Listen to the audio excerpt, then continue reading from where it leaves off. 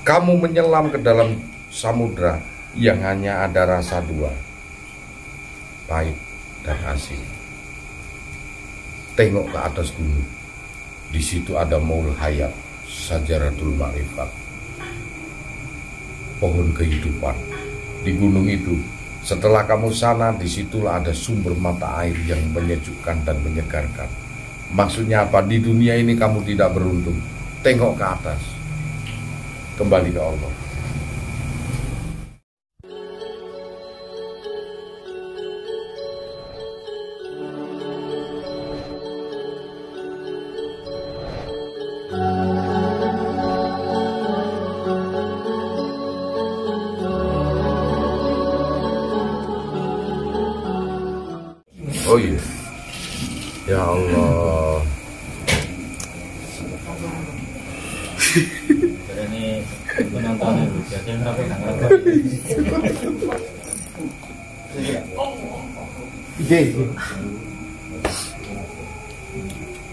Lah ya iku mau lah apa aku iso gak rokokan iki.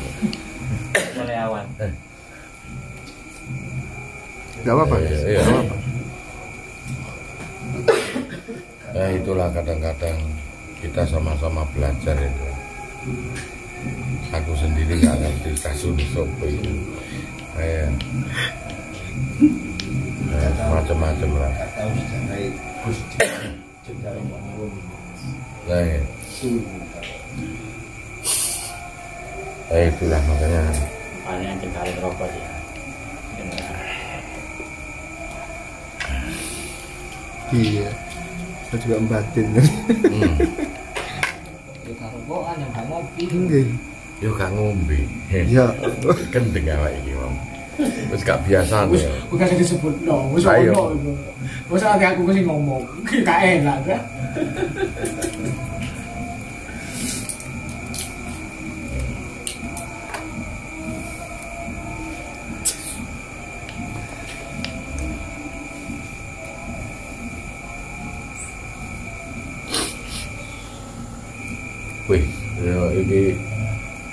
bisa viral temen ini masih 45 menit. Hmm.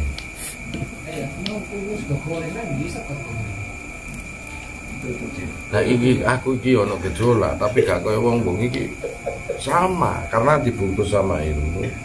Hingga aku mampu meredam lewat akhlak.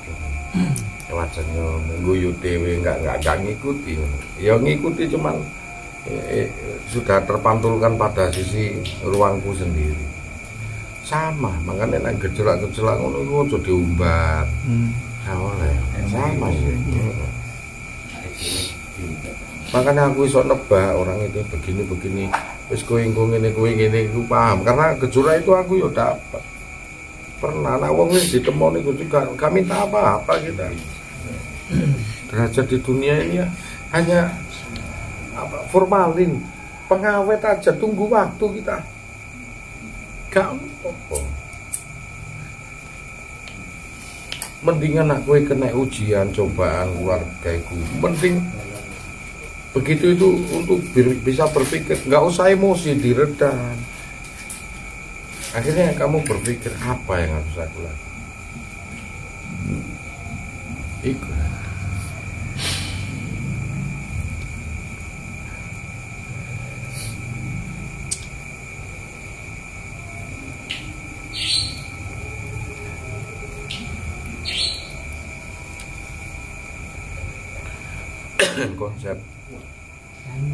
ayo belajar konsep ketuhanan itu jenengan yang sudah dihidangkan oleh Allah.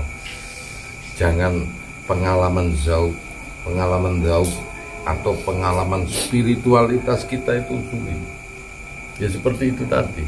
Kita menceritakan lekuk-lekuk maaf ya lekuk-lekuk tubuh istri kita nggak boleh.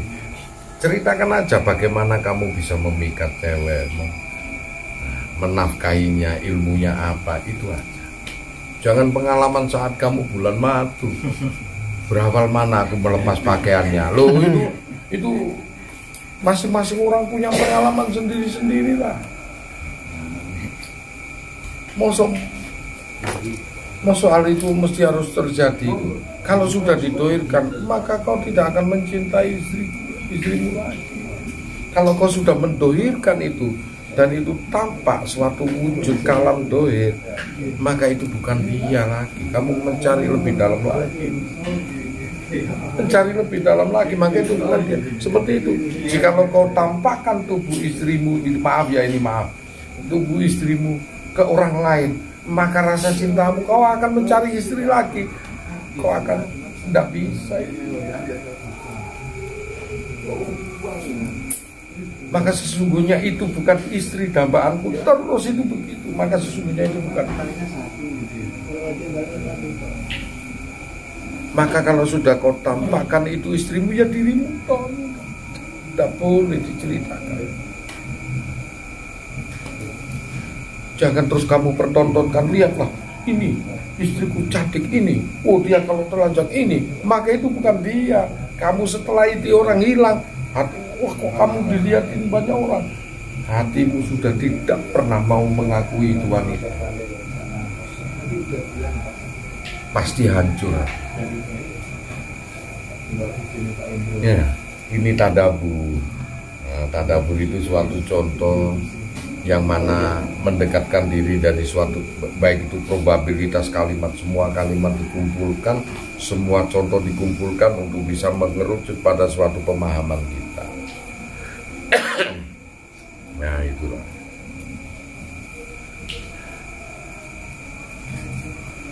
Hal-hal yang beginilah kadang-kadang perlu diungkap supaya kita sendiri nggak keliru.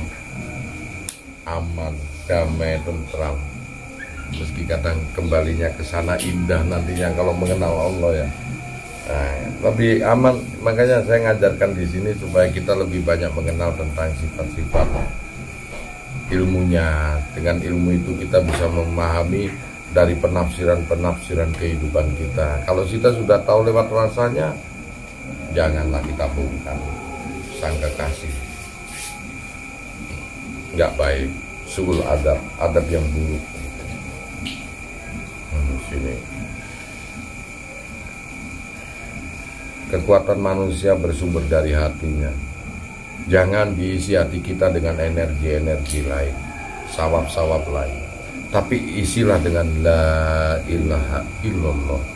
Tidak ada Tuhan selain Allah. Ada apa dengan yang lainnya? Masuklah suatu energi cinta, baik itu ubu dunia, cinta dunia, maupun cinta yang lainnya. Hanya batasan tidak lebih dari 10% wis kebacut Sebab kalau separuh kau cintai isi dunia ini, aku yakin saat dipisahkan sama Allah sakit.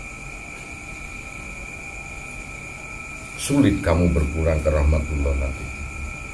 Yang dimaksud la ilaha illallah tidak ada Tuhan selain Allah maknai.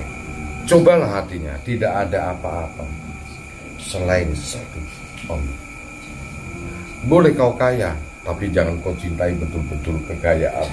Nah, yang di sini hanya Allah selamat. Masih pun rodo gak gablek sholatmu. Tapi indai semua perbuatan kaweruh di dalam batin ini dengan keadaan sholat yang sebenarnya. Indah.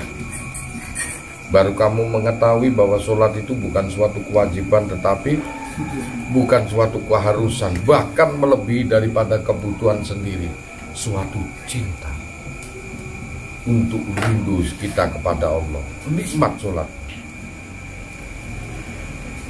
Arahnya nikmat. Punya Tuhan apakah berjalan sendiri? Ya. Jalan sendiri. Sama orang kalau masih dijodohkan antara laki perempuan dan tidak saling mengenal karena kedua orang tuanya pada menjodohkan penyatuannya akan berjalan seiring waktu dan kejadian dan sejarah itu sendiri ataupun yang disebut kesan itu sendiri. Karena berkesan-berkesan maka bisa timbul mengenal saling mengenal kemudian waiting trisno jalaran sopo kulino nah, karena karena terbiasa terbiasa itulah kita bisa mencintai. Nah, terus kita hanya mengeklaim dengan waktu untuk memilikinya sebatas berapa. Selebihnya istri kau bisa bawa ke akhirat atau tidak tergantung dirimu dan Allah. Mungkin bisa mengingatkan semua wanita. Sebaik apa pun seorang wanita, apalagi dijodohkan dengan seorang laki-laki yang lebih mulia dan baik, tak ada surga untuk muji kalau tak taat dengan seorang suami. Tak ada surga untuk satu aja yang dibutuhkan sama seorang wanita untuk suaminya ketaatan kesetiaan. Meski keadaan seperti apa pun. Sebaliknya jikalau seorang wanita itu memegang ketaatan dan kesetiaan sang suaminya berlaku dolim. Ah, juga tak akan ada kenikmatan untuk suaminya di surga. Meskipun dia masuk surga sekalipun apalagi seorang suaminya dolim. Wah, sang istri itu akan ditampakkan kepada hal-hal yang lain. Nah akan diberikan kepada ahli-ahli surga yang lain dengan diberikan pencemburu paling hebat kepada sang suaminya itu. Hingga suaminya menderita melebihi dari kecemburuannya di dunia hingga tersiksa dengan batinnya sendiri sampai jatuhin jeblok menyesal kalau jika seorang istri bermodalkan setia dan taat kepada suaminya sementara sang suaminya itu ah, itu kebalikan nah, jikalau suaminya itu baik sesuai dambaan orang ahli surga sabar dia tapi kalau istrinya tidak memegang itu, hmm, sebaik apa pun bertobat seperti apa pun tak akan ada surga di dalam. Tertolak. Hmm. Surga tak mau dimasuki oleh wanita-wanita seperti itu. Nah, makanya nah, sedikit indah syaratnya seorang wanita masuk surga. Ibadah kepada Allah sholat, kata Rasul puasa di bulan Ramadan kecuali empat nah, yang bisa menjaga harga diri dan keluarganya taat setia kepada suami salah satu aja gugur neraka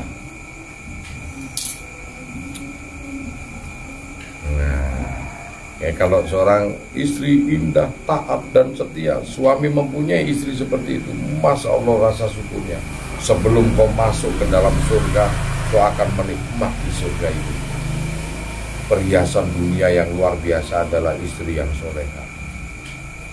Nah, ayo, wanita kaum wanita ini berlomba-lomba jadi seorang wanita soleha. Kita belum pernah ke surga, tapi kita merasakan nikmatnya hidup di dunia dengan channel surga. Hmm, nikmat sekali. Pun juga sebaliknya tidak enak hidup di dunia. Nah, iya. Gak gampang urip cak. Satu, semua cinta di dunia akan mengkhianati kalian semua. Dan itu pasti. Ayo nak tak ungkap keseluruhan. Dan itu pasti terjadi. Hanya sang cinta yang akan meninggalkan kita ini berubah wujud menjadi suatu keadaan suatu peristiwa, suatu kejadian. Apakah itu suatu perbuatan, ataukah dia berubah menjadi suatu sifat, ataukah kejadian-kejadian yang hampir membenturkan dirinya, maka tak akan pernah kita bisa menyelesaikan perkara ini. Kalau itu dilanda dalam suatu dilema kehidupan tentang cinta kasih, kamu menyelam ke dalam samudra yang hanya ada rasa dua, pahit dan asin. Tengok ke atas gunung, di situ ada maul hayat, sajaratul ma'rifat, pohon kehidupan.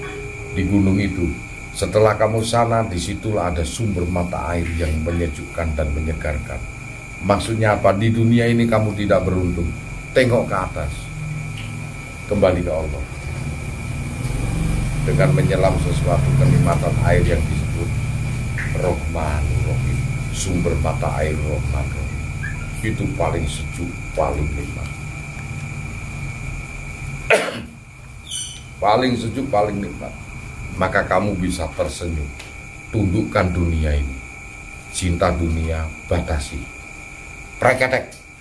Hmm, hanya Rasul dan Allah yang mencintai aku. Oh, latihan gitu. Supaya besok kita nggak kaget cak. Nah, ngono. apa dalile? Preketek. Nah, ya. Ngono enak.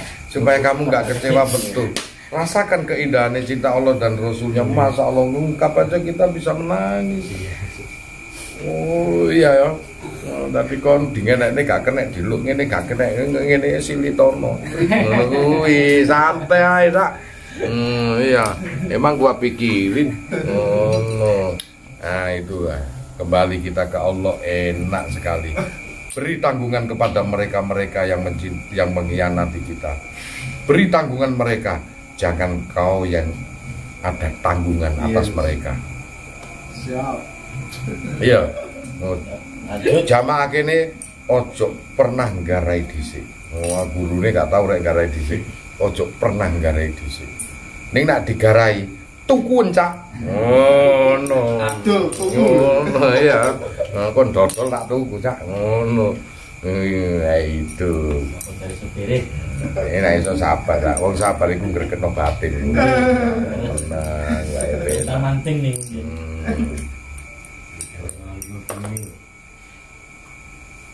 Iki mari betul banget di sini maksudnya betul makmur itu ya gimana Iya, besok tak ungkap lagi. Aku sih sepanen iki.